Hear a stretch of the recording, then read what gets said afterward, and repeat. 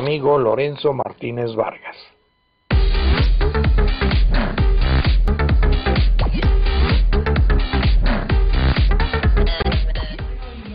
centavos Rubén ¿cómo quedaron el dólar el día de hoy? Hoy tenemos el dólar a la compra en 18.15, a la venta en 18.90, un poquitito a la baja. Digamos que unos La bolsa mexicana de valores, ¿cómo quedó? Bueno, pues la tenemos en 45.705.42 unidades, también bajó un 0.16%. ¿Y la mezcla mexicana del petróleo? 40.90 dólares el barril, subiendo pues también una, una pizcachita. Casi nada, ¿verdad? Las reservas internacionales al día de hoy quedaron en 177.291 mil millones de dólares. El oro y la plata, Rubén. El oro 27.500 pesos la onza y la plata Libertad permanece igual en 300 pesos la onza. Bueno, ya tenemos en la línea al doctor Raimundo Tenorio Aguilar. Él es analista financiero, económico y les voy a decir que es el director de Economía y Finanzas de allá del Tecnológico de Monterrey, Campus Santa Fe. Doctor Raimundo Tenorio, agradezco mucho el que nos hagas el favor de tomar la llamada. Doctor Raimundo Tenorio, ¿sí me escuchas? Bueno, creo que perdí la, señal. Doctor Raimundo Tenorio. Sí, señor, aquí estoy. Sí, me escuchas bien. Yo aquí eh, presentándote como pues lo que eres, ¿no? Un especialista en los temas de finanzas y economía. Fíjate que hoy me enfrasqué en una discusión con eh, eh, Federico Vale, el papá. Él eh, conduce un noticiero desde hace 50 años y me dice que las cosas no están tan mal en México, que ah, ha habido un crecimiento sostenido, que no hay fuga de capitales. Ya ves que publicamos en el periódico El Punto Crítico que eh, pues la situación está crítica y que los capitales pues se están yendo, ¿no? Lo pusimos en la portada del periódico. Y me dice que no, que no es así la cosa, que lo estamos viendo desde una óptica pesimista y que se están generando empleos, que hay crecimiento sostenido yo le dije que eh, lo que iba a hacer, porque realmente yo no conozco tanto de economía y finanzas ni soy el especialista, pero que te iba a preguntar, ¿qué me dices? ¿Cuál es tu opinión? ¿Realmente México está bien o está mal? Mira, este el propósito desde luego es eh, en cualquier momento sentarnos a revisar información. Este, nuestro colega y tu servidor no es el espacio desde luego. Aquí hemos acostumbrado pues dar una óptica objetiva. Y con datos duros, ¿no? No, pues no tanto oficialista, yo no soy oficialista, soy académico, soy un observador, soy, soy alguien que enseña técnicas, ciencias para observar y poder interpretar una realidad cotidiana. La verdad es que México está mal, no estamos en una situación de crisis, pero la ausencia de crisis no justifica el que estés bien. En la economía al que hay que intervenirle quirúrgicamente y suministrarle los medicamentos, vitaminas que la mantengan vigorosa. No es el caso de nuestra economía. Nuestra economía ha mantenido un crecimiento por debajo de su potencial.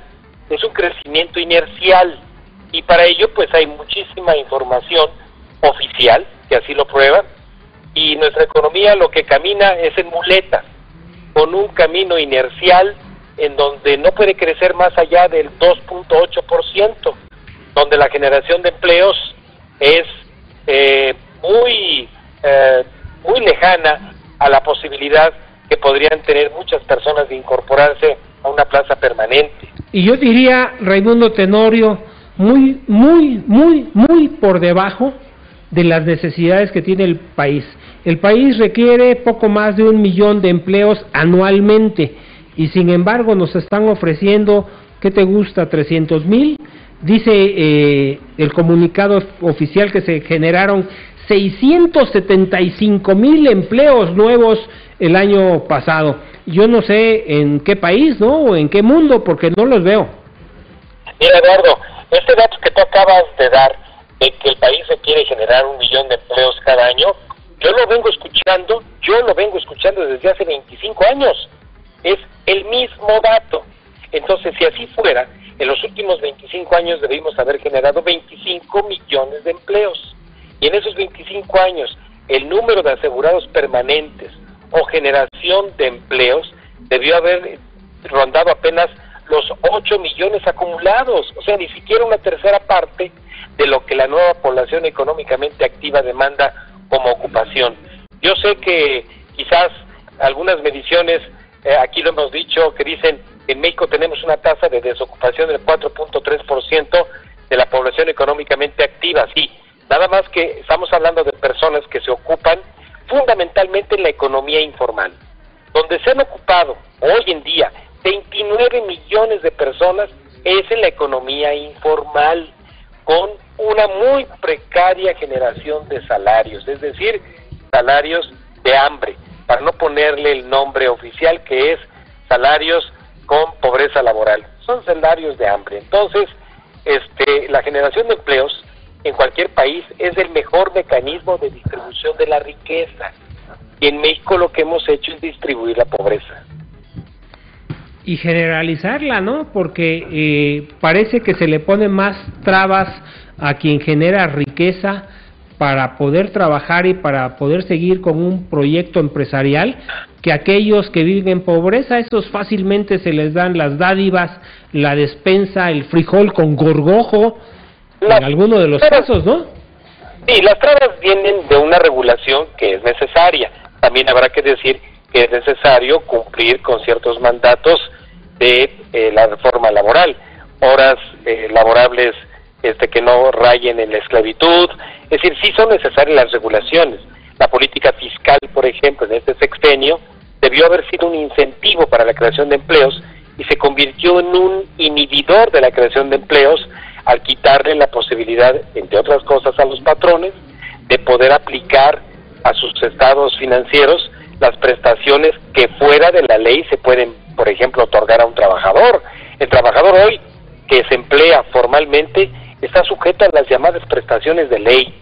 Los patrones no pueden ni les sale financieramente otorgar prestaciones más allá de las básicas de ley porque justamente ya no son aplicables, a, por ejemplo, a los resultados de gastos de operación de las empresas. En ese orden de ideas, viene ya el periodo en el que hay que presentar paquete fiscal, egresos e ingresos. ¿Cómo ves eh, que vengan las cosas. ¿Cuál, ¿Cuál es tu opinión? Mira, desafortunadamente el paquete fiscal para el 2017 no será el que nos prometieron con la aplicación de las reformas estructurales.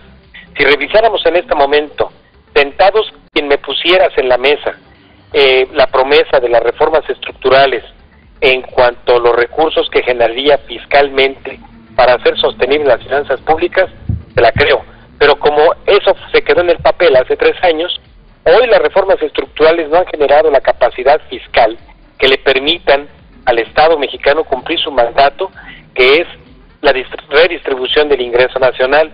Hoy tenemos una reforma fiscal que para el año 2017 podrá no tener toda la amplitud de base de contribuyentes como todavía no ocurre hasta hoy, pero la eficiencia en la captación sin duda que ha aumentado pero la eficiencia y eficacia en gastar va muy mal. Es decir, hay que recaudar bien para gastar mejor. Hoy se recauda bien para gastar muy erróneamente. Bueno, pues ahí es como está el panorama y que pinta para 2017. ¿Cómo ves que termine este segundo semestre y cuáles serían las recomendaciones que le harías a quienes nos hacen el favor de, de seguir y escuchar? Sí, en este segundo semestre lo que vamos a tener es una actividad económica todavía muy lenta, con eh, una inflación que va a regresar a niveles de 3.5, con un tipo de cambio en 18.90, 19 pesos, terminaremos por la presión de los especuladores, con un déficit, un déficit muy importante en términos de bienestar para la población, en satisfactores de salud, de educación y de vivienda. Pues ahí está el pronóstico. Te agradezco mucho, doctor Raimundo Tenorio Aguilar, tu información y sobre todo tus comentarios que nos despejan muchas dudas Ya ves que luego se enfrasca, se enfrasca uno que en no pretendo discusiones. ser este agorero del desastre o jinete del apocalipsis. Simplemente soy un observador de la evolución de la economía y de la responsabilidad fiscal con que nos conducimos. Y yo te diría a Raimundo Tenorio Aguilar, doctor, que sin lugar a dudas, si no pusiéramos el dedo en la llaga y alertáramos sobre lo que está sucediendo, aquellos que requieren de los aplausos y de la caravana fácil, inclusive eh, el que les laman las botas, estarían dichosos de hacer lo que les pegue la gana, no importando cómo siga el país. Yo creo que tenemos yo la obligación de hacer conciencia. Yo soy un agradecido con la distinción de este medio, a diferencia de otros medios más maiciados. Te agradezco muchísimo el concepto y la atención. Muchísimas gracias, doctor Raimundo Tenorio. Un gusto, como siempre, felicidades. El doctor Raimundo Tenorio Aguilar, especialista en temas de economía y finanzas, director de la carrera en el Tecnológico de Estudios Superiores de Monterrey en el campus Santa Fe. Así es como van las cosas. La portada del periódico El Punto Crítico del día de hoy, Rubén Labastida. Hoy tenemos en la portada, Eduardo, amigos del Punto Crítico, diálogo en Oaxaca con CNT, Con la CENTE. con la CENTE Nacional en la página número Bueno, 3. ya salió el, el secretario de Gobernación, eh, Osorio Chong, junto con el gobernador del estado de Oaxaca, a decir que llaman al diálogo, que no se puede cuestionar la ley, la ley no tiene marcha atrás, pero sí va a haber diálogo con los maestros disidentes. Con los que no va a haber diálogo es con los malosos, con aquellos que destruyen, vandalizan, no solo el estado de Oaxaca, sino a nivel nacional.